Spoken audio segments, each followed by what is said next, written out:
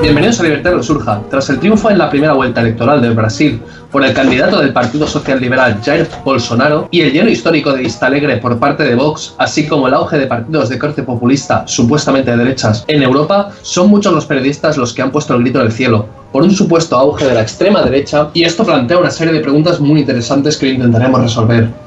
¿Están los periodistas más interesados en crear una opinión pública a través de la opinión publicada que decir la verdad e informar?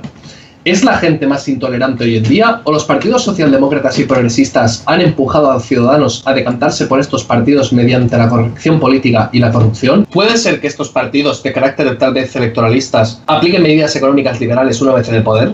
¿Se usa quizá de forma un tanto alegre los términos ultraderecha, extrema derecha o fascismo o como palabra policía para desprestigiar candidatos que no lo son tal cosa como en el caso de Bolsonaro?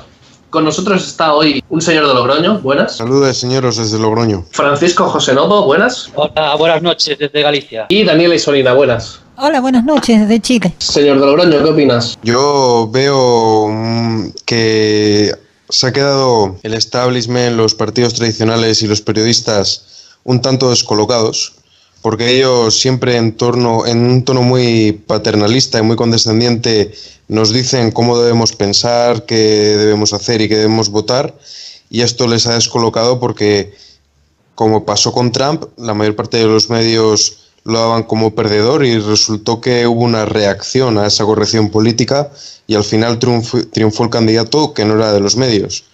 Y yo veía cómo exageraban mucho con Bolsonaro, que lo tildaban de fascista, de extrema derecha, ultraderecha, yo me informé y quitando un comentario un tanto homófobo, que tampoco dijo que fuera a llevar a cabo violencia contra los homosexuales, no le noté nada que se pueda vincular al fascismo o al nazismo. De hecho, algunas propuestas suyas me parecieron interesantes. En el caso concreto de Vox, es más difícil saber eh, qué es lo que quieren hacer porque sí que es un partido que ha ido variando. Como hemos comentado, pues quizá el, nicho que dejó el PP al virar un poco con Mariano Rajoy hacia la socialdemocracia lo ha intentado ocupar Vox, pero tampoco veo yo que sea como aquí la falange o el franquismo, tampoco llega a esos niveles. Y sin embargo eh, desde el lleno de Vista Alegre he visto que muchos periodistas decían que veis cómo sí que hay fachas, veis cómo sí que existe la ultraderecha, que yo tengo la teoría de que realmente todos los partidos de izquierda al reírse y bueno y muchos líderes de izquierda al reírse de, de las personas de derecha en series de televisión, en la prensa, etcétera, tildándolos de tontos, tildándolos de ignorantes, de racistas, de machistas, etcétera, sin serlo, los están escorando ellos mismos. O sea, es una, una acción que genera una reacción. Cuanto más hacia la izquierda se vayan los partidos de centro izquierda, más gente se verá identificada con la derecha. Cuando los periódicos y los periodistas se niegan a hablar de terrorismo islámico, dicen no, que es un caso aislado o, dicen, no, tenemos que coger mucha inmigración, pero no hablan del número de parados que aumenta y que puede ser inviable con el estado de bienestar. Las pensiones, que no dicen que es el 40% del gasto público y que no hay forma de, de, que en un futuro cobremos una pensión. Cuando no se habla de todo esto, le estás dando la veracidad a estos partidos extremistas, porque son los únicos que hablan de ello.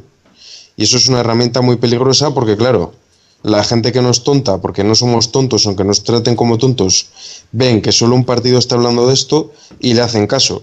Y esto es peligroso, entre comillas, si verdaderamente son de, extrema derecha, porque pueden utilizar este discurso populista para hacer electoralismo y luego colarnos un montón de, de leyes liberticidas, etcétera. Pero vaya, yo personalmente creo que así como Le Pen o Salvini sí me parecen extrema, lo que se llama extrema derecha, aunque en realidad serían eh, socialistas de corte xenófobo y nacionalista, así como eso sí que los veo como un poco relacionados con el fascismo, etcétera. A mí Bolsonaro y Vox particularmente no me parece que sean para nada extrema derecha. De acuerdo. Novo, ¿qué opinas? Bueno, yo creo que son fenómenos eh, un poco diferentes de, de, cada país, ¿no? O sea, no es lo mismo Salvini en Italia, que además Salvini no, o sea, gobierna en coalición.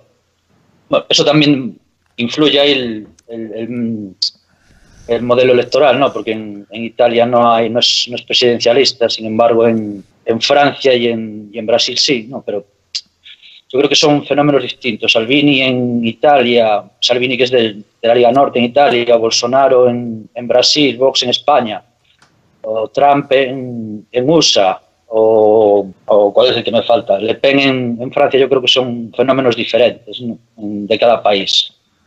O sea, por ejemplo, Le Pen en Francia sería más bien tema inmigración, creo yo, tema mm, centrado mucho en la inmigración.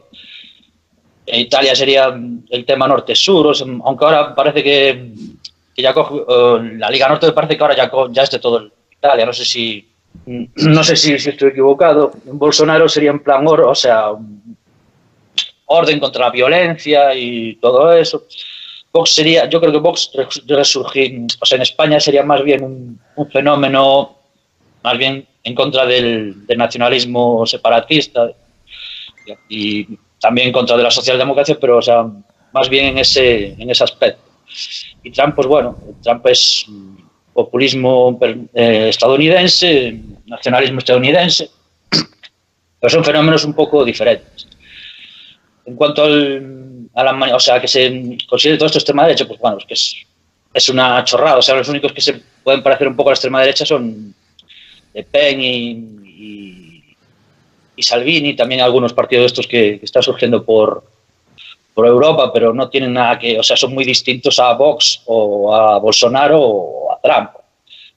Estos, como bien decía Miguel, eh, estos anteriores son de corte más bien socialista, más bien muy, muy estatistas y los otros son al contrario, ¿no? más, más libertad de mercado y más y, más menos Estado.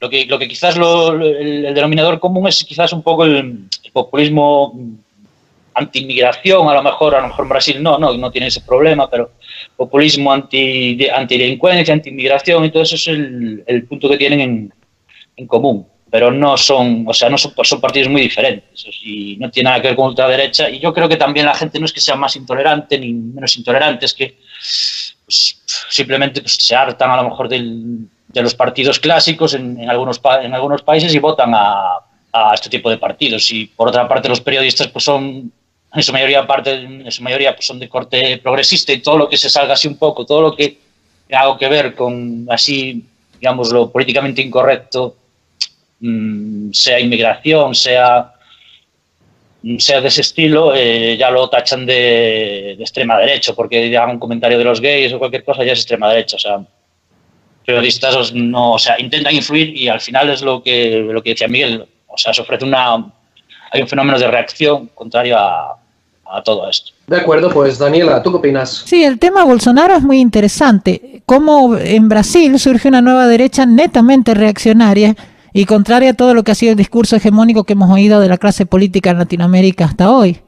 Bolsonaro es una especie de Pinochet 3.7 que surge de un desengaño de la población para con toda la clase política.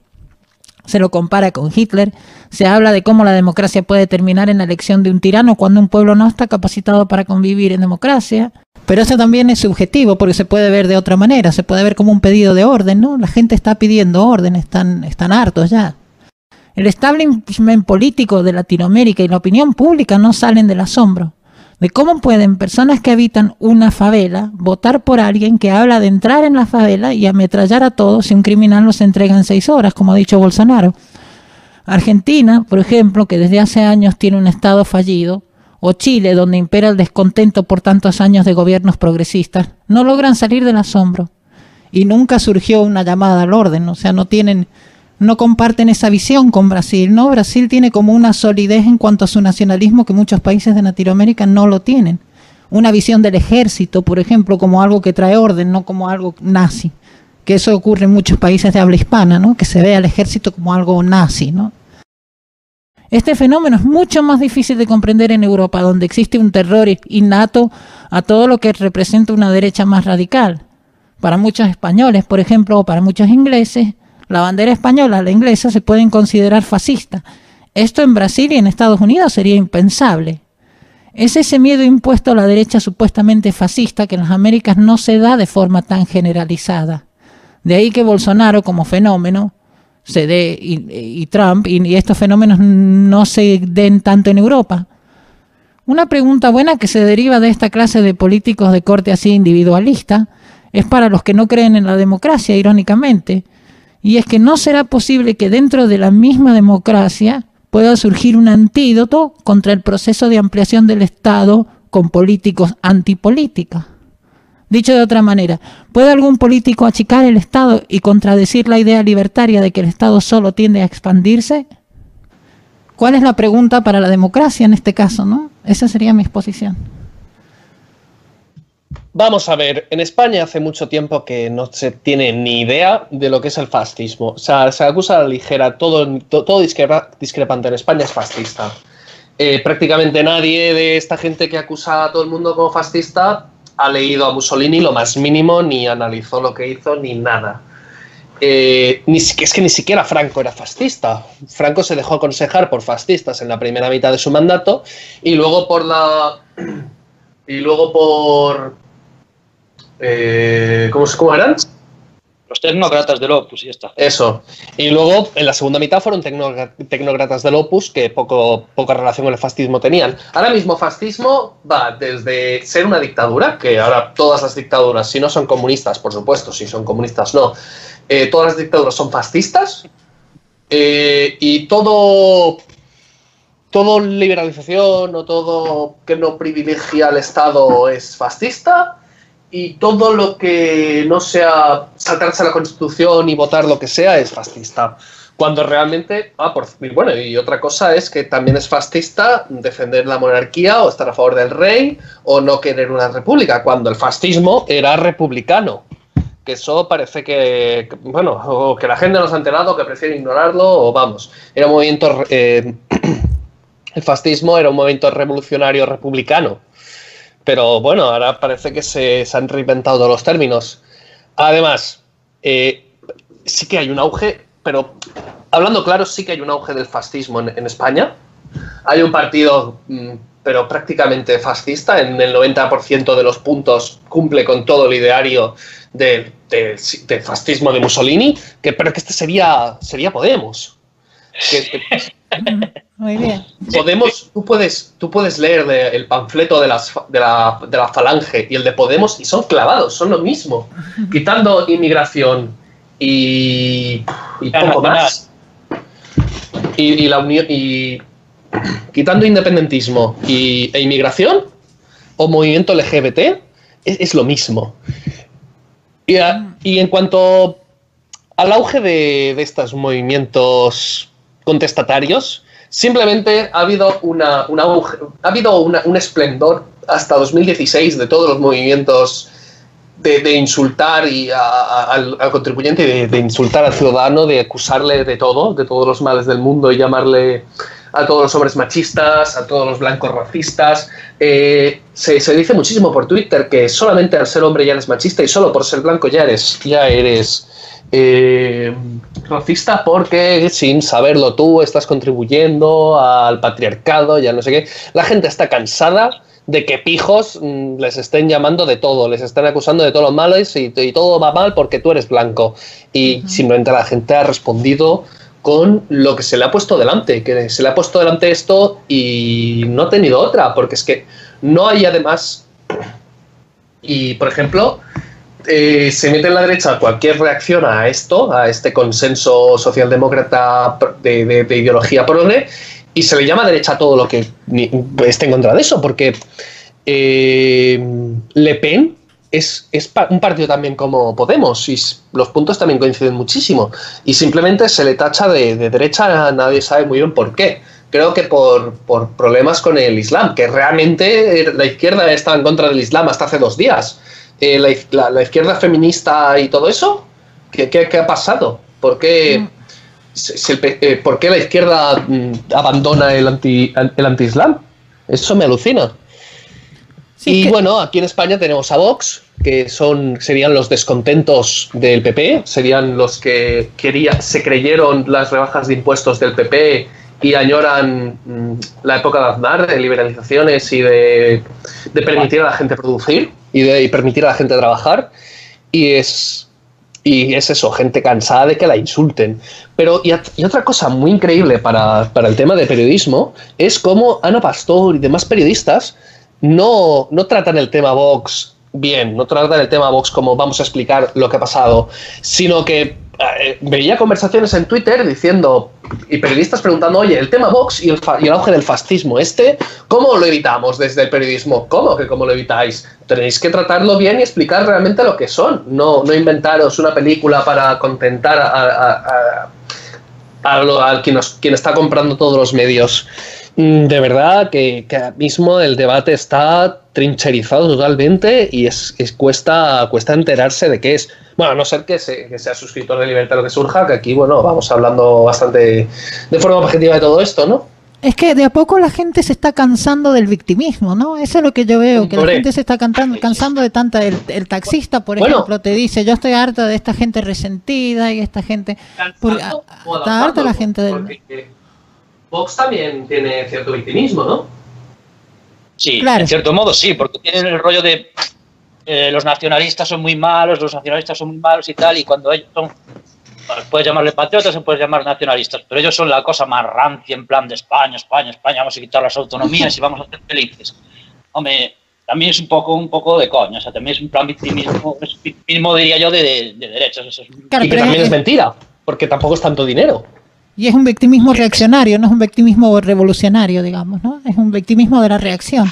No, no, no, no. Bueno, es que uno es reaccionario frente al otro. Eh, uno eh, podemos ser reaccionario frente a Vox y vos es reaccionario frente a. Claro, la, a, la, a, la reacción. Es lo mismo. La reacción Pero contra, contra tanto victimismo ambos son es. La reacción Hombre, contra. conservador, si conservador se entiende por conservar lo que tienes, sería un progre, porque llevamos 20 años de progresismo. Claro. Podemos también. es conservador. Podemos quiere dejar las cosas tal y como están. Quiere estar, Sí, sí. está en contra de Uber, está en contra de cualquier avance. De los vientres de alquiler y todo eso. mm, Vamos, eh, que hay más reaccionario que estar en contra de todas estas libertades que nos están ofreciendo. Nada, hombre, también otra cosa que se puede hablar de- del periodismo ahora que, que Radio Televisión Española pertenece al PSOE, etcétera, es que tal vez le, le estén intentando desde los medios hacer la cama al Partido Popular como el Partido Popular se le hizo al PSOE con Podemos. Para fracturar el voto de izquierda, pues será al revés. Hago que suba Vox, hablo de él, aunque sea mal, se van votos a Vox, fracturo el voto de derecha y Sí, sí, me sí. preparo un frente popular con Podemos y con los nacionalistas. Eso, eso se notó mucho. Mira, estuve el otro día viendo el programa de, de televisión de aquí de Cataluña que se llama Polonia. Polonia es una, unos sketches de, de humor sobre el- la situación política. Eh, Vox lo ponen como el puto amo. Lo ponen como el rey, lo ponen como, vamos, la perfección de la derecha y que eh, votar a Ciudadanos y PP es como me quedarse media tinta. Están deseando desde aquí de Cataluña que se fracture el voto de Ciudadanos porque es primera fuerza y se vaya mucho voto a Vox. Pero, te- en serio, mm, es el que es que trataba, hablaban peor de, de- de los independentistas que de Vox. Yo alucinaba. Pero mira, yo tengo la, la- la hipótesis de que, o sea, es una hipótesis un poco surreal, pero de que lo que más le beneficia al independentismo es, por ejemplo, que llegase a gobernar, que son, vamos, no creo que pasen, nunca se sabe, pero en décadas, que llegase a gobernar Vox y que suprimiese las autonomías. Porque eso pasabas de un 50% de independentistas en Cataluña a un 70% en Sí, nada. Desde luego, 70% desde luego. No hay nada que hacer. O sea, no hay ni constitución, ni ejército, ni Unión Europea, ni nada. Con un 70% de independentistas en Cataluña eso es imparable.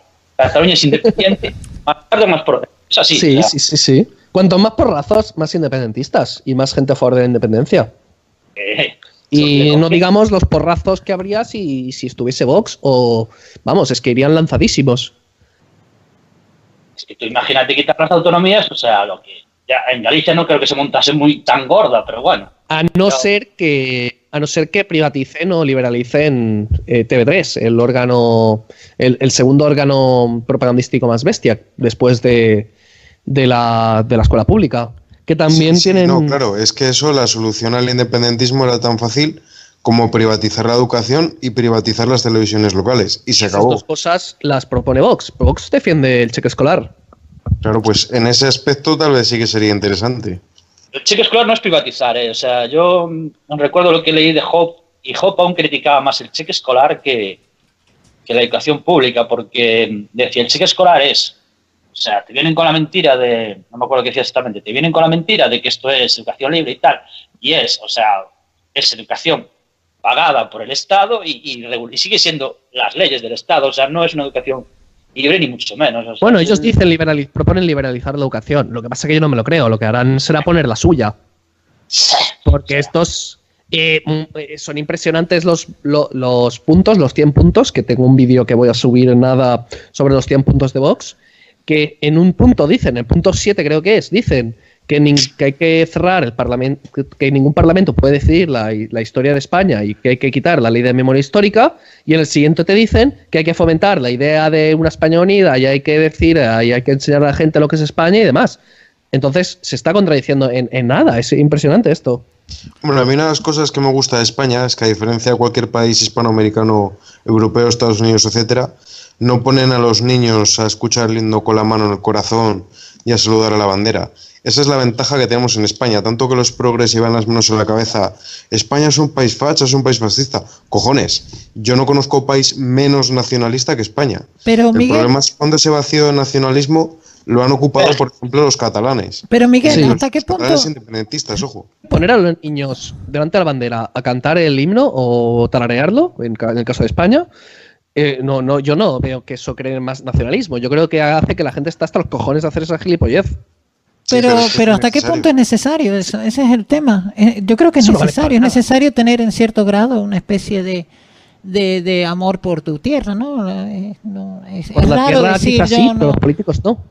Que yo creo que sí que hay que amor- tener amor por tu tierra. En, tu- en mi caso, pues yo qué sé. Sería mi coherente, gusta- ¿no? Mi, mi barrio me gusta mucho. Pero no hay que tener un amor por, por una nación o por una patria o por, por, por los políticos. Es que muchas veces eh, acabas teniendo amor por, por la patria, por la nación, pero la nación acaban siendo los políticos y acabas teniendo. Pues, y lo veo chorrada eso. Claro, es que no sería la misma patria que Estado, entiendo yo. O sea, Eh, claro, patria es la una- de un lugar, la gente, la gastronomía, Incluso el pa- paisaje. patria en el sentido- sería el Estado. Daniela. sí, Patria en el Daniela. sentido, en el sentido de la derecha pinochetista, patria significa tu capacidad de enriquecerte como individuo para que tu comunidad esté mejor. Eh, me acuerdo la frase en la época de Pinochet, yo tendría cinco años, y en la radio ponían, tu poder adquisitivo es poder constructivo para Chile. O sea, ese era el mensaje. Cada individuo debía ser capaz de producir por sí mismo y de sacar adelante a su familia y levantarse todas las mañanas, ir a trabajar y todo ese tipo de cosas, ¿no? Esa es la idea que proponía esa derecha vieja. Y eso es lo bueno, que se ha pues perdido. es patria. Eso es un, un Sí, patria. neologismo, una neolengua de Pinochet. Claro, patria en el sentido de, de- de- de tu poder adquisitivo, o sea, de construir un país rico. Patria en el sentido de querer lo mejor para tu país, en sentido de, de- comercio, de economía, de salir a vender Quiero al mundo. quiero y- lo mejor para ti y, y- y ya, y ya producirás para todos haciendo eso. Exacto, esa quiero era lo la mejor idea. para ti, para tus cercanos, pero es que eso no es Esa lo mejor la para la patria, porque al final, con la excusa de la patria, eh, te dicen, no, pues ahora te vamos a clavar un IRPF de tanto, porque, hombre, es que la patria necesita no sé qué. Claro, pero volvemos al, al tema de mi pregunta de antes, ¿no? ¿Hasta qué punto esta derecha o la derecha en general reduce el Estado? O sea, cuan- cuando llegan, bien, llegan. Ahora van a reducir el Estado, como se supone que, que es lo que le da el voto libertario nuestro, ¿no? Digamos, yo voto, yo si estoy en Brasil voto a Bolsonaro, porque claro, me está diciendo voy a achicar el Estado. Perfecto. Pero ¿hasta qué punto lo van a hacer? Esa es la, la ya, intriga, bueno, ¿no? Macri, Macri yo lo vería como el gran ejemplo. Macri, ¿qué, qué ha hecho? Pero Macri nunca propuso ser de derecha. Cuidado, ¿no? Macri no... ¿No? No, Macri... No tenía propuestas liberales. No, era más bien eh, de, de apaciguar. La cosa. Ah, vale. Exacto. Macri era un tecnócrata tipo Un, Rajoy. equi- un equidistante, ¿no? exacto, sí. Un poco como, como Piñera, lo mismo. Vale, Es un, un un rajoyista. Claro, sí, igual, sigue todo igual. Incluso el plan de la izquierda continúa con esos gobiernos. De Sí, agrandar sí, el sí, sí. Estado, de todo lo demás, ¿no? Claro. A Rajoy no se le vota. Bueno, sí, es que a Rajoy se le votó para, para que bajaran los impuestos.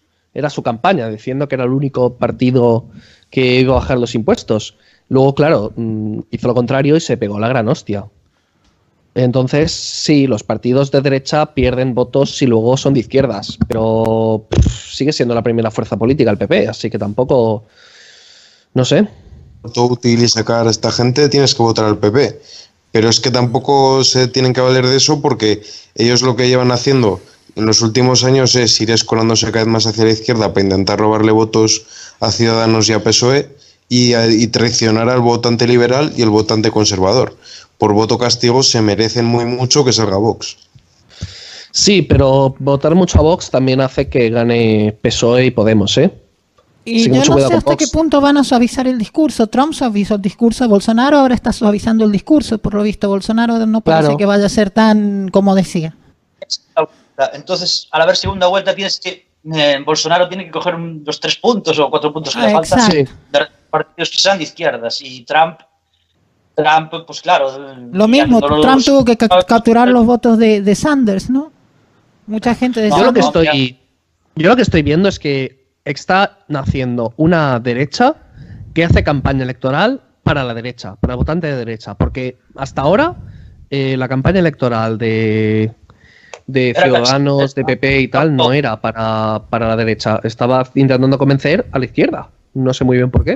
Quiso atrápalo todo, o sea, socialdemocracia y fuera, o sea, partidos atrápalo todo, que tanto vale para cosas así de centro, digamos, una cosa que va- vale para uno como para la gente moderada, digamos. claro, un Macri, un Sí. Piñera, una cosa así. sí. Sí, sí, siempre hablan de estado de bienestar y de todos y de bien común, colectivo, bla, bla. Es que es muy decepcionante verles insistir en el mismo discurso que ya acapara el PSOE. Y como Adrián dijo en otro debate, ¿para qué vas a votar a la copia si ya tienes al original? Es que es absurdo. Sí, sí, sí, sí. Eh, lo que está claro es que en el PP, eh, el PP está lleno de descontentos. Y luego los que se han ido a Ciudadanos, eh, otro- otros descontentos más, porque se han encontrado con lo mismo, solo que más de izquierdas. Entonces, eh, es normal que aparezca Vox. Sí, y, claro. Y encima es el partido favorito de Foro Coches, que, que esto tiene mucha fuerza en España, ¿eh? Y están, No olvidemos. y están, en- encontrando líderes carismáticos, ¿no? Porque Abascal es, es carismático. Hombre, Hombre, hombre. lo veas. Una cosa que a mí me gustó mucho de Vox es la defensa encarnizada del libre porte de armas, porque yo eso jamás Sí. había escuchado en España ningún Uy. partido, ni siquiera los independentistas, proponer el libre porte de armas. Bueno, no está en, en sus 100 propuestas eso. Eso lo han quitado para, para rascar votos, porque si Sí, no sí, se, les, se pero- les comen. Pero Abascal va por ahí con un arma, ¿eh? Ojo, que eso Cierto. no lo hace cierto. cualquier político. En Pero Brasil, Mira, algo- ojalá. Oh, Ojalá. bueno, ¿eh? en Brasil también Bolsonaro va a liberar las armas. ¿Sí? Sí, por supuesto. En Brasil es que es imprescindible. En Brasil, incluso Sí, creo sí, que ya han sacado la normativa para el tipo de pistola para la gente de ciudad, la escopeta para gente de campo. Cada una tiene su. Ya tienen previsto. Sí, claro. Sí, sí, eso salió. Aquí salieron periodistas en, en, el- en varios debates diciendo eso, que, que se iba a ser un caos, porque ya con la delincuencia que había en Brasil, sin encima armas a la población. Claro, Pues digo yo que- está furiosa. Pues- si te viene a robar un tipo y tienes un arma, pues a lo mejor te conviene tener el arma, ¿no? O sea, o te vienen a matar, ¿entiendes? O sea, La izquierda garantista creo- está furiosa, los garantistas están furiosos por eso. La cantidad, van a morir muchos inocentes, ¿no? Como dicen ellos. Los lobos cazan ovejas, no prefieren cazar ovejas que jabalís. Un jabalí tiene dientes y se defiende, mejora por la oveja. O sea que los ladrones van a ir a robar donde no hay armas. Pero a ver, realmente, ¿qué, qué, qué estamos, ¿qué está pasando con Vox? ¿Es realmente un partido que va a, a hacer girar hacia la derecha a, lo- los hegemones? ¿O simplemente va a partir el voto y va, va a permitir a la izquierda pff, petarlo? Yo Yo creo que... que- Sí, eh, adelante Francisco. no, no, habla, habla, habla. Yo creo que depende de lo que pase en las europeas. Si en las europeas Vox saca resultados bastante buenos, va a obligar a Casado a girar su discurso hacia la derecha segurísimo. O sea, si- ¿Son antes las europeas que cualquier Sí. otra? Eh, claro, Depende cuando sea. Ah, Sí, bueno, sí. claro, es que según el PSOE, ¿no? Claro. ¿Puede, puede ser que anticipe el PSOE las elecciones para mm, que las, que las europeas no le coman? No, no, no, no. No, porque son ya. O sea, estoy mirando y son en mayo. El PSOE Dominic. agota la legislatura para intentar sacar más votos. Y quiere Sí. comerse a Podemos. Y Ciudadanos. Sí, pero si intentas ir a por uno, pierdes el otro, ¿eh? Pero es que hay mucho progre en Ciudadanos. Progre de. Bueno, no sé. ¿eh? Como se unifiquen las izquierdas y se divida la derecha, nos comen, ¿eh? Pero bueno, es que el PSOE lo está haciendo horriblemente mal. O sea, tiene, es que cada, cada semana que pasa la lía otra vez. Es, es que. ¿De verdad le compensa? Salen los del CIS diciendo que es la primera fuerza y tal. Me gustaría a mí, ¿sabes? No, no, no, pero es que eh, quien dirige el CIS es del PSOE. O sea, pero literalmente, que lo puso Pedro Sánchez. Y está en el Consejo de Administración del PSOE. Entonces, ¿tú te crees eso? Hombre, yo lo que estoy viendo es que el PSOE está acercándose a marchas forzadas a la izquierda progre feminista multiculturalista para fagocitarse a Podemos. Eso era eso. O sea, Zapatero era eso. Zapatero es quien, quien introdujo todo eso en España. Así que simplemente están siguiendo la línea Zapatero. Sí, Sí, sí, es, es zapatero, pero es más cutre aún. O sea, es que es, Ya. es no realmente espectacular. pero ¿Os imaginabais? ¿Os imaginabais hace 10 años o así un zapatero más cutre aún? no, no, no, no. Pero es que tampoco me imaginaba que alguien pueda llegar a hacer bueno a Rajoy y visto lo visto. tampoco. Porque ahora dices, bueno, Rajoy era tonto, pero te reías con él. Pero es que con este ni te ríes, es que es un hijo puta. Entonces, bueno, por, por la palabra, ¿sabes? Pero Yo lo echo de menos, tío, porque por lo menos, no sé, es que por lo menos, por lo menos no, no, no, no era tan bestia. Es que estos tipos proponen subir el salario de 750 euros a 900 euros. Tú sabes la- el paro que va a crear eso entre la, entre la Entre, clase entre los que dicen defender, entre, entre los inmigrantes y demás. Los pobres. ¿sí? es jóvenes, de gente sin formación y tal. O sea, si no te van, si, si no te pueden pagar, el empresario no te puede pagar los 900 euros, no te los va a pagar y te quedas fuera, tío. O sea, si no produces eso, te quedas fuera y ya está. Y además va a arrastrar para arriba los otros salarios. O sea, eso lo que va a producir es una subida de paro. Pero por eso la Sí. reacción surge, la reacción surge de la clase obrera, por eso, ¿no? Claro, claro, claro, claro, claro. Los pobres votan a la derecha y muchos, la, mucho- la derecha, o sea, la izquierda suele decir, no, es que los, voto- los pobres más pobres votan a la izquierda, o sea, a la derecha porque son unos ignora- ignorantes y no sé qué. Porque claro, eh, la, la izquierda lo que hace es insultar constantemente, por eso también se les van muchos. Pero no, lo que hace el, el pobre es que ve como se gastan 93 millones de, de euros en feminismo, eh, se gastan en operaciones de cambio de sexo, se gastan en un montón de locuras En y el pobre, el que de verdad es pobre, el que de verdad es, es un tío que le cuesta llegar a final de mes, dice, joder, pero mm, no repartáis tanto, mm, dejadme trabajar tranquilo. Claro, y el Eso trabajador, el trabajador que era lo que se supone que tenía que defender la izquierda, ahora no, no solo lo defiende, no lo defiende, sino que además le, le- le- le pone todos los palitos en la rueda que puede, ¿no? Les trae más mano de obra barata, le, Sí. O sea, lo Sí, perjudica, claro, claro, los perjudica obrero. competidores.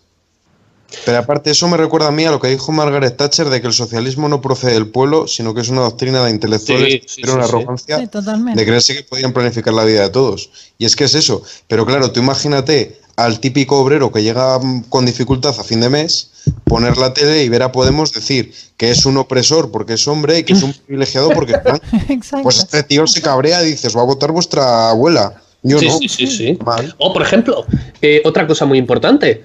eh, ¿Cuántos camareros creéis que van a votar a Podemos? Cuando, de- cuando Podemos decía, es que España es un país de camareros y, hay, y no hay que permitir esto. No sé qué. Oye, pues si la gente, la gente que trabaja de camarero porque no tiene otra cosa, ¿cómo se te ocurre decir que vas a quitar eso? Eh, Sí, por- adiós, muy buenas, ¿eh? Van a por el turismo, además.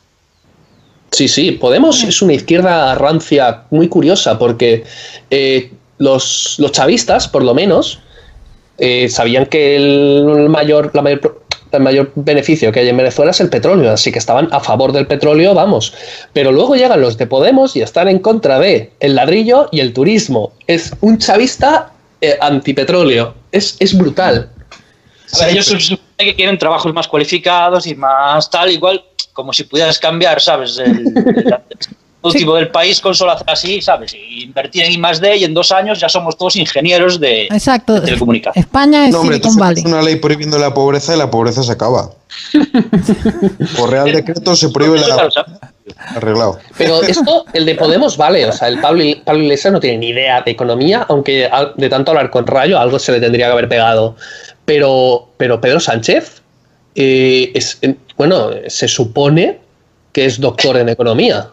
Se supone. Es como- Pero, bueno, título, Robert, título la, falso, carrera, ¿no? la carrera sí que la tiene, ¿no? La O sea, iban- el, el doctorado está en duda, pero la carrera está ahí.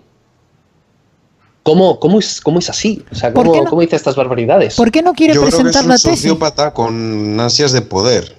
No sé qué opina Daniela. El, asunto es por qué no quiere presentar la tesis, ¿no? Si tú has escrito una tesis, aunque por más mala que sea, ¿qué te va a importar que Ya la vea la gente, no? Está bien, escribí una estupidez, Mira, es- perdón. escri- escribo yo una tesis y, y hago una lectura comentada en mi canal de lo orgulloso que estaría. ¿Qué te parece?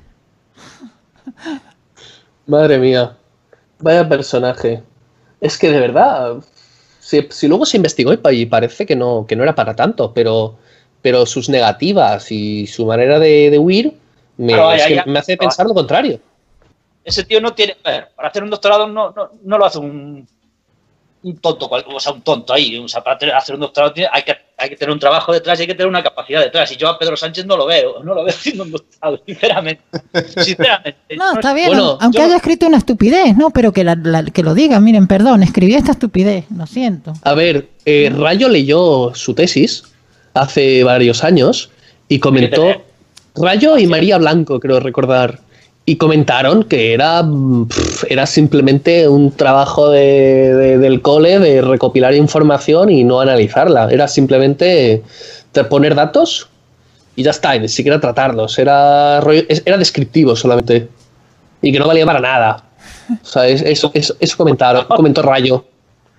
Tuvo una buena nota, tuvo Hombre, un tribunal comprado, o sea, un tribunal. ah, no sé, no quiero hablar de la tesis esa porque es.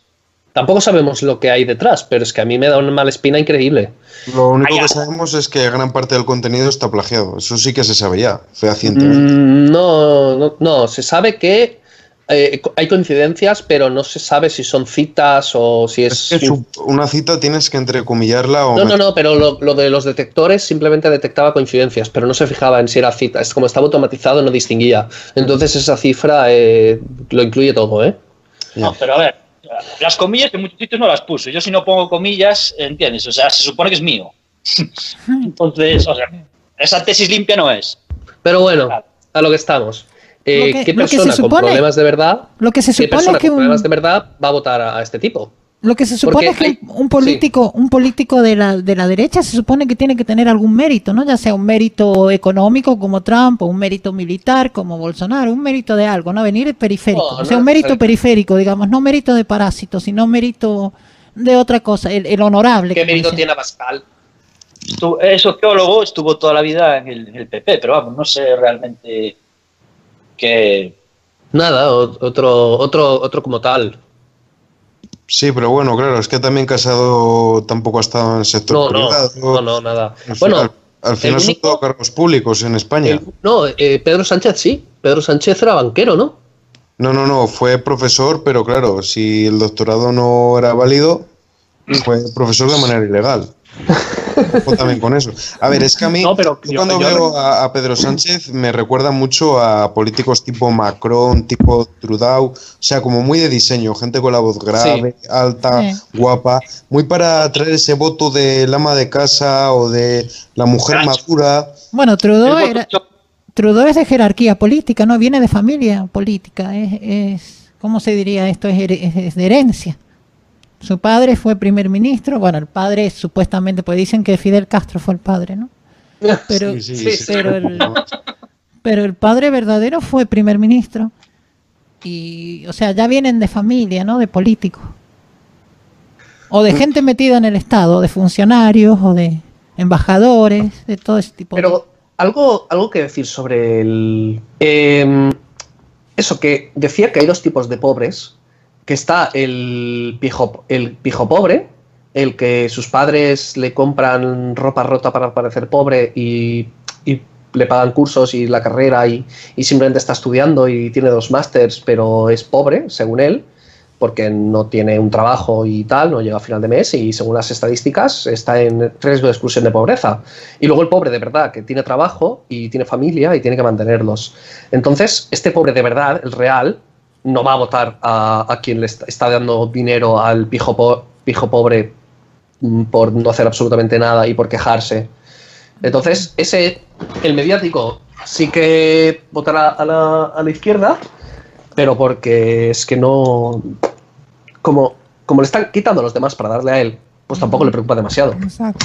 Yo estuve trabajando eh, en una cuadrilla bastante numerosa en el campo, vendimiando, y eh, el hijo del propietario que no aparecía o aparecía tarde, que únicamente tenía que mover el remolque con el tractor, era de izquierdas. Y mis compañeros de trabajo, que eran dos naturales de Mali, dos de Senegal, dos marroquíes, un argelino, un pakistaní, un dominicano, un ecuatoriano, un rumano y creo recordar que un colombiano sí que era el, el encargo de la cuadrilla, ecuatoriano, todos, todos, todos hablando tenían un discurso más bien parecido, más bien orientado a la derecha y el hijo del que tenía todos esos, viñedos, que eran unas cuatro hectáreas más o menos, era progresista. Claro. O sea, daos cuenta de la incoherencia, según la lógica que nos quieren vender, de que un grupo numeroso de personas, todas inmigrantes excepto yo, el dueño de la finca y el hijo del propietario, que éramos españoles, todos los demás inmigrantes,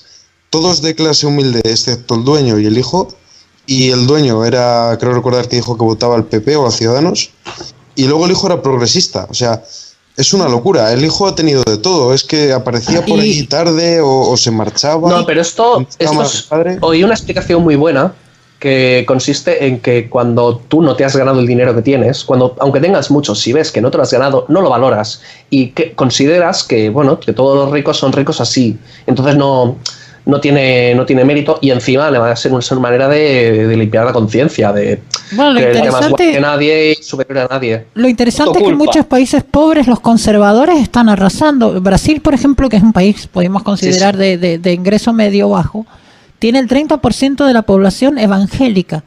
Igual con África. En África el, el reauge de las religiones y del conservadurismo estricto, ¿no? Ya no hablamos de un conservadurismo así like como vendría a ser el europeo, no. Un conservadurismo Ya, ya. de que al homosexual lo apedrean y se acabó. Ese tipo de conservadurismo, que es así. Ese tipo de conservadurismo surge más en, en sociedades, se ven más pobres, ¿no? Cuanto más pobres, más se están volviendo como conscientes de que no tienen por qué ceder ante ningún victimismo, ¿no? Ya. También hay otra que, por ejemplo, cuanto más poder adquisitivo y cuanto más dinero tiene tu familia o tienes tú, más tiempo puedes estudiar. Entonces, está, hay una correlación entre, se- entre, eh, tener estudios y, por lo tanto, ser adoctrinado por el Estado y ser de izquierdas. Cuanto más nivel de estudios, cuanto más años has estado mm, en, una- en adoctrinación, más de izquierdas eres. Claro, y cuanto más logren alienarte de la izquierda- familia, ¿no? Cuanto más te separen del concepto de familia extendida. Si te, si te quitan el concepto de familia extendida o la familia que sea, o sea, de, de quedarte solo, te vuelves más vulnerable al control que quiere la izquierda, ¿no? Supuestamente. Eres Sí, más también. manipulable en ese sentido, ¿no? No- La familia lo que te da es una identidad propia que te hace ser más independiente de pensamiento que lo que es tener que unirte a un grupo que es afín a ti, pero no tener familia, digamos. ¿No? Mm. Que eso es lo que propone la izquierda también. Snobo, ¿qué ibas a decir?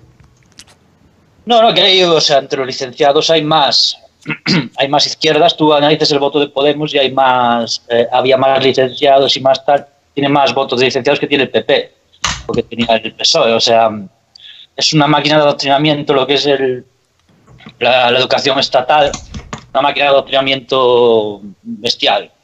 Sí, Después sí, también sí. me, me gustaría hacer referencia a lo que decía Daniel antes de si se achica el Estado, si la democracia.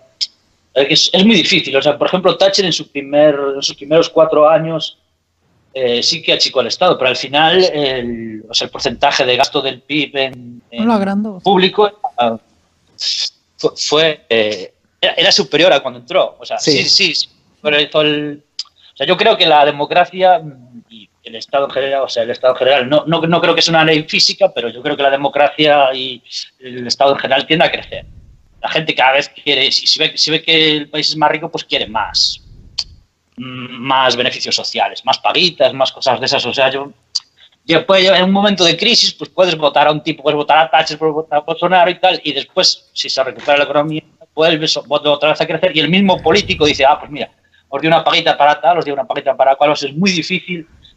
Yo no creo que lleve mucho antídoto eso, ¿eh? es muy difícil. Es que encima no te, es que encima no te compensa.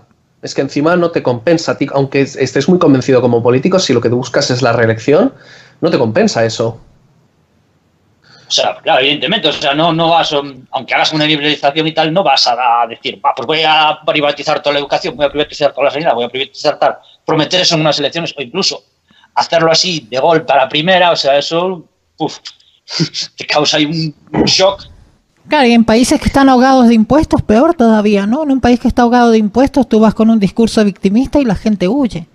Nadie quiere oír hablar de, de, de que, de que tu salario es bajo, de que te discriminan y esto, cuando la gente en realidad lo que quiere es llegar a fin de mes. Entonces, Claro. ahí en esas situaciones, formas- adiós al discurso victimista, ¿no? Sí, aunque yo estoy de acuerdo con Daniela, yo creo que si ahora mismo convocas elecciones en Venezuela o en Cuba, no ganaría un partido liberal. Para No, nada. no, liberal ni de coña. Ni de coña, ¿eh? No, o sea, no, y- y en Cuba menos. no, pero, pero liberal tampoco creo. A ver, piensa que la gente que no vota el régimen se ha ido o, vamos, o se lo han cargado o, o lo han aislado lo O tiene, suficiente. o tiene miedo. mismo. También el Y que la educación en Cuba es bestial y hasta y un cubano hasta que no sale de la isla no suele, en- por, por- por lo general, eh, muchos de los que se han ido, se- una vez fuera, cuentan, hostia, pues estaba fatal y no me estaba dando cuenta. O estaba adoctrinado brutalmente y no me enteraba realmente de cómo funciona el mundo hasta que me fui. Entonces sí, que corre mucho riesgo de, de realmente, eh, en Venezuela quizá, si hiciesen unas elecciones limpias, igual hasta ganaba, ganaba eh, eh, Maduro otra vez. No, me no creo, pero. No, tanto no. Yo ganaría Pero- Leopoldo, que también es socialista, con lo cual tampoco cambiaría. Ya, bueno. Socialismo europeo, o sea, es de este socialdemócrata tibio, pero bueno. No, Al tibio final, no. Tibio, Socialismo es pero socialismo. No, no, no, no, no, es un social- una socialdemocracia dura, ¿eh? la de la de la MUT. Sí, sí, sí. Bueno, es sí, que bueno, pero mucho- ya no es tan tiránica, por lo menos. O sea, lo veo un poco. Bueno, tipo- porque no tienen poder, ¿eh? Bien, Venezuela porque también el mucho- PSOE hay que entender que si estuviéramos fuera del mercado europeo habría que ver lo que haría el PSOE. Y la prueba es Andalucía. Ya. Andalucía Mm. es la Venezuela de. Y sintiéndolo mucho por los andaluces a los que respeto y admiro, pero es que Andalucía es la Venezuela de, de España. Solo que con euros. Claro, claro, claro. Si tú- mira, tú, eh, si la Junta de Andalucía tuviese su moneda propia, ¿qué hubiese pasado? No, no, Andalucía estaría en la miseria. Y en, Vene- en Pero- Venezuela hay mucho chavista antimaduro, ¿eh? cuidado, que si Chávez aparece otra vez gana. Es como decían en Brasil, si se presenta Lula, que estaba en la cárcel y no podía presentarse, ganaba Lula. Eso es lo, lo- lo curioso del tema, ¿no? Pero ¿cómo puede ser que, que- que ganase una persona que está en la cárcel por corrupción? Claro, no lo dejaron presentarse, por eso ganó Bolsonaro. Si no hubiera parece, arrasado me Lula. parece brutal que, que de verdad fuese la mejor candidata estando en la cárcel por corrupciones bestiales. Exacto. Sí, como afortunadamente Vilma Rousseff no sacó ni siquiera para ser diputada. No, es que yo me llevo una alegría con ello. Eh, también me llama la atención mucho, eh, por enlazar un poco también con el periodismo, cómo la prensa se ha negado a catalogar a Chipras o a Podemos en los mismos términos que a. Vox. o- es que es injusto porque realmente están apelando todavía más al sentimentalismo y todavía menos a la razón. Entonces, simplemente por honestidad intelectual, coño, por lo menos equipáralo. Y aun equiparándolo sería reduccionista y estaría mal. Pero no, no magnifiques una cosa mientras estás dedicado a invisibilizar que por el otro extremo estaba ese mismo problema, pero encima con muchísimos más votos. Sí, sí, sí. Es que Podemos ha marcado los presupuestos del gobierno. Sí, Que es sí, ese sí. nivel de fuerza que tiene. No, Po- Podemos los ha escrito y luego les- se lo ha ofrecido a Pedro Sánchez para que les dé el visto bueno. Claro, y, y las principales ciudades de España las gobierna Podemos. O sea, es Espero que no por mucho tiempo. Ya, ya, pero es que Barcelona y Madrid Sí, tienen sí, casi sí. una cuarta parte de la población española y las están gobernando. Sí, sí, sí, es, es terrible. Y el abuso fiscal que hacen es tremendo, ¿no? El abuso fiscal que hace esa gente siempre cuando llegan es de terror. O sea, arrasan con, van a por impuesto a todo lo que puedan encontrar que se le pueda poner impuesto. Y también me llama la atención que quieren fabricar pobres. Se nota mucho cuando quieren prohibir que tú puedas alquilar tu piso a turistas. Sí. O que te... Ah, o sea, supuesto. buscan que la gente dependa del gobierno, pero descaradamente. Matar O sea, la sí, sí, iniciativa privada, esa es la idea, ¿no? Matar la iniciativa privada, que solo sea la corporación, que es la O que no- de alquiler, tampoco puedes ganar dinero con eso. No, la corporación y el gobierno, no hay más. Los grandes almacenes, las grandes fábricas, el gobierno y el resto no, no que no tenga iniciativa, que ninguno quiera hacer nada. Y tú sabes, la cantidad de votos y de pobres que, va- que van a aparecer y la de campañas de pobreza que van a hacer a partir de ahora cuando se apruebe el salario mínimo nuevo. podrán decir que la gente está en la calle tirada y que no, y que no hay trabajo. es que culpa de los empresarios. Los empresarios acaparadores, egoístas, que... Es que además, justamente habían puesto un tuit que yo me quedé alucinando diciendo que decía algo así como si tu empresa no, no es capaz de pagar sin Oh, sí. solo 900 El- euros, Eduardo Garzón, eso. sí, sí, no, no te mereces producir, pero vamos a ver, pero ¿cómo eres tan desgraciado? O sea, tú explícale a una persona que, que gana 800 pavos que le tienen que despedir porque su jefe no tiene la capacidad que es un por autónomo de poder pagarle más. Es, es ¿Cómo que es increíble ese tipo se queda ancho diciendo eso. O sea, o sea solo pueden. O, o sea, está diciendo que solo pueden las empresas Más tal, pero no, está, o las pero no está pensando que no todas las empresas pueden pagar eso, joder, y que va a haber gente que se quede en el paro. O si lo piensa, A las Y va a pymes las que se quede-. A las Y pymes va a las haber matan. gente que se quedará en el paro porque ahora será más rentable para una máquina hacer tu trabajo que, que ponerte a ti. Claro. Eso lo, eso lo dijo McDonald's a Hillary Clinton, que como se le ocurriera subir el salario, el salario mínimo a 12 dólares, creo que era, que cogía y ponía máquinas a, a, eh, a depender, ¿sabes? A los que Sí, pasan sí. por el coche de tu servicio y a tomar por culo. El, Y el tema es quién, o el sea, tema es quién puede sí, pagar y- esas máquinas, ¿no? Porque un, una pyme, un empresario pyme no puede comprar la máquina. O Ya, sea, ya. va la corporación la que se beneficia solamente. Bueno, es que también quieren luchar contra eso. En la Unión Europea se propuso eh, que las máquinas pagasen seguridad social. Es, luego es les pagamos la alimentación a la máquina. A ver, eso es por si mm, eh, mm, la teoría esta de que las máquinas pueden crear muchísimo paro y tal para que.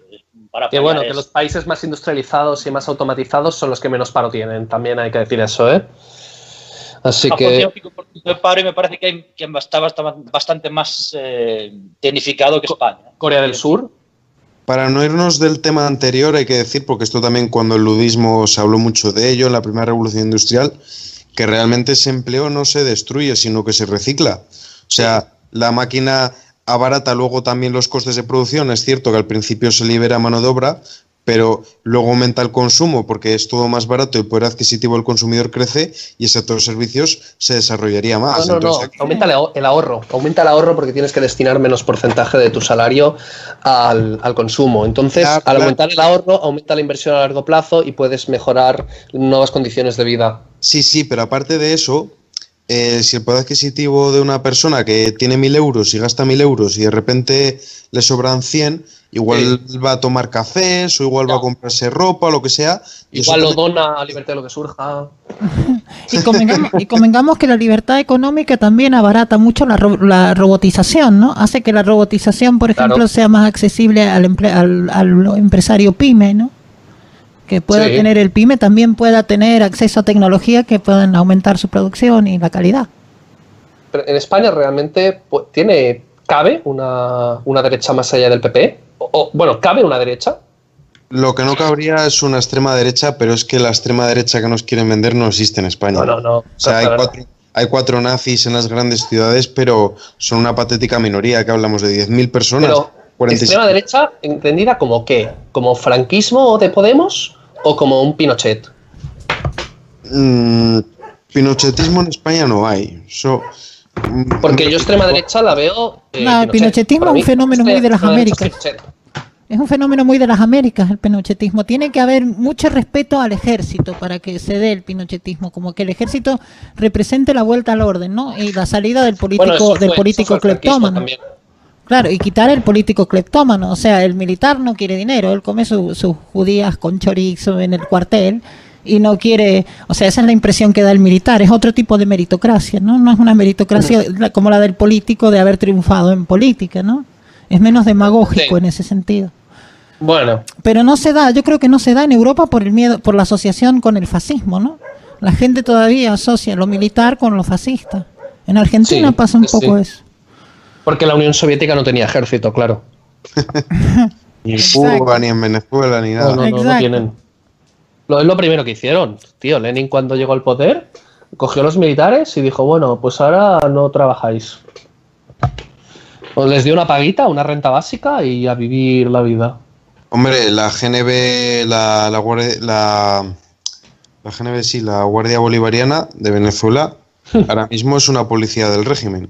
Sí, sí, claro. Y antes era una especie de guardia civil, o sea, imagínate la degeneración tan grande que hubo. Sí, sí, sí, sí. Eso se Otra consigue vez. purgando cargos y dándoles algo si pagas o lo que sea. Mm. Pero bueno, no creo yo que, que llegue a haber extrema derecha en España. Eh, un auge de Vox sí podría ser, pero es que yo a Vox no lo considero. Lo considero la, la derecha más tradicionalista, la que siempre Sí. hubo aquí, una derecha tipo del aznarismo. Pero Mm, extrema derecha sí. en España no, no, no, no. Porque además España tiene la suerte de que recibe mucha inmigración eh, americana y los, los, hispanoamericanos al final son españoles que han nacido al otro lado del Atlántico. Eh, si recibiésemos tanta inmigración del mundo islámico como es el caso de Alemania, de Francia y tal, a lo mejor sí. Sí, Pero como recibimos correcto. muchísima Sí. gente hispanoamericana que se integra eh, prácticamente al bajarse del avión, no veo ese problema. No, en España yo creo que si se da una derecha va a ser más por reacción a tanta a progresismo, Sí, ultra, ultra sí, sí. progresismo, ¿no? A, a ese progresismo totalitario que se ha instalado. Igual pasa en Chile, porque aquí el problema de la inmigración es relativo. Está el tema de los haitianos, ¿no? Pero aparte de eso, la izquierda es muy radical, ¿no? Es como muy bruta. Pero eso no acaba de ser una derecha como tal, simplemente es una antiizquierda, porque en el momento en que te opones a las propuestas de la izquierda, las, las, las bloqueas y luego ¿qué?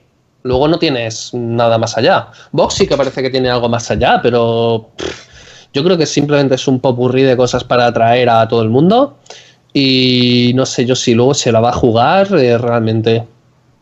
Quiere meter miedo con la palabra fascismo y tal, porque sí que ven un poco que van perdiendo la hegemonía, Mm. la hegemonía en las calles.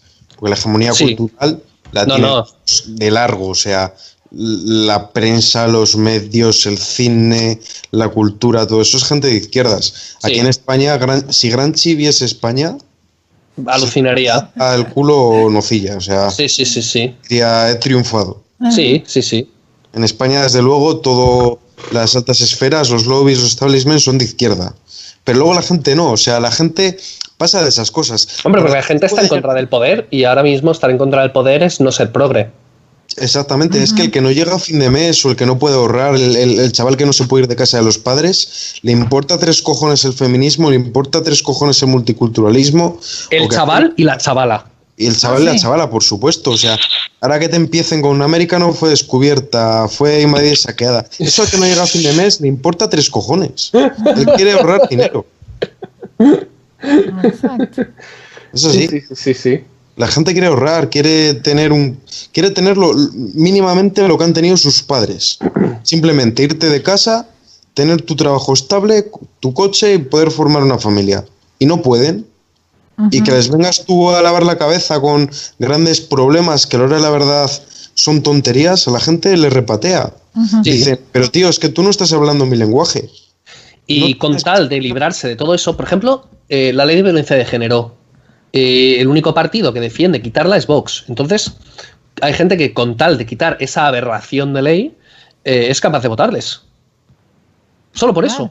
Sí, pero claro, es que también manda cojones que ya que no teníamos separación de poderes, nos quieran quitar también la igualdad jurídica. Y la ley de género, la ley de género ha hecho re- reaccionar a mucha gente en todo el mundo, ¿no? La gente ha saltado contra eso porque de golpe nos quieren vender algo que no, que no es real.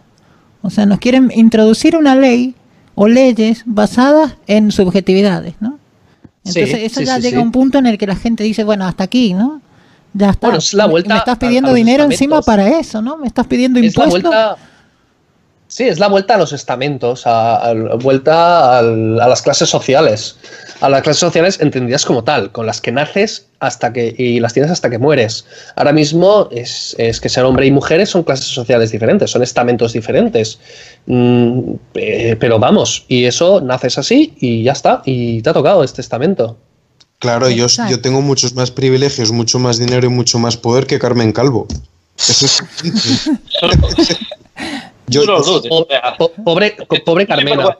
Lo pones en duda. Claro, es que tú claro, eres el yo opresor. tengo a Carmen Calvo oprimida. Ah. Y a Carmena, y a Carmena también.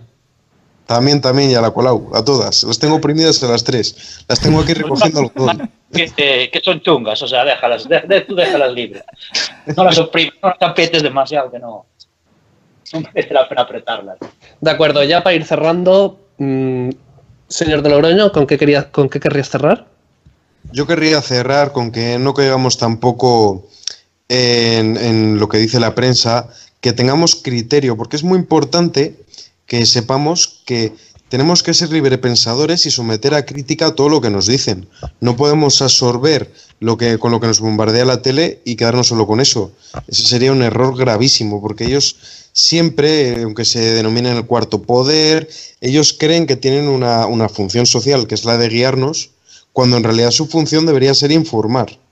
Entonces, ellos siempre van a magnificar mucho las cosas, van a exagerar, van a ser alarmistas, pero nosotros también tenemos que saber eh, cribar la información útil de la que no es útil. Porque todo esto que dicen de las fake news, ahora Carmen Calvo que quería censurar la prensa cuando habla mal del gobierno, etcétera, realmente todo eso no es tal. O sea, el Estado lo que quiere es perpetuarse en el poder, el gobierno de turno y tenernos controlados. Entonces, tenemos que ser muy críticos, eh, informarnos por nuestra cuenta, investigar, leer en internet, hablar. Y si ves que está lloviendo y te dicen que ha salido el sol, coño, coge un paraguas porque te vas a mojar. Y simplemente con eso querría hacerlo. Sí, no creerse las fake news ni creerse Twitter tampoco, mucho ojo. Daniela y Solina, ¿qué querrías decir para cerrar? Es interesante en relación a lo que decía Miguel, que, que, creo que hay un poco de desesperación en los medios hegemónicos, ¿no? Porque si ves, por ejemplo, los youtubers somos todos fachos, eso está claro. YouTube está lleno de fachas para ellos. Y de golpe la gente se va más a YouTube para la información que lo que van a las grandes cadenas, ¿no? Yo creo que ese fenómeno se está dando en todos lados, que está, tienen un poco lo que era la hegemonía gramsciana de, de copar los medios y de tener la política controlada a través de los medios, creo que se les está yendo de las manos, me parece bastante, ¿no? Sí, por eso quiere regularlo. Exacto. Sí, y más o menos concluir con eso, ¿no? Que, que, se les va de las manos. La derecha viene y no la va a parar nadie. Y la reacción existe. Creo que todo el mundo ya ha reaccionado al, al, totalitarismo este progresista, ¿no? Que, que, se ha querido introducir. Pues, Novo, ¿qué querrías decir?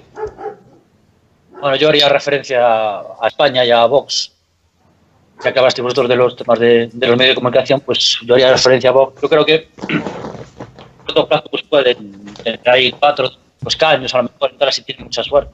No creo que tengan muchos más y pueden ser a lo mejor un partido, digamos que tenga una cierta trascendencia, pero es un partido que está centrado, o sea, escorado bastante a la derecha para lo que es el discurso de aquí de España, incluso de Europa, entonces una vez que quieran llegar a ser un partido importante, estilo PP, PSOE, Ciudadanos, tal, tendrían que moderar su mensaje. O sea, no veo, no veo una, que sigan con el mismo mensaje y que puedan llegar a, a, gobernar, porque no creo una, una persona más de, una persona más, digamos, moderada, no ellos ya, ya dan esa imagen, digamos, un poco extremista.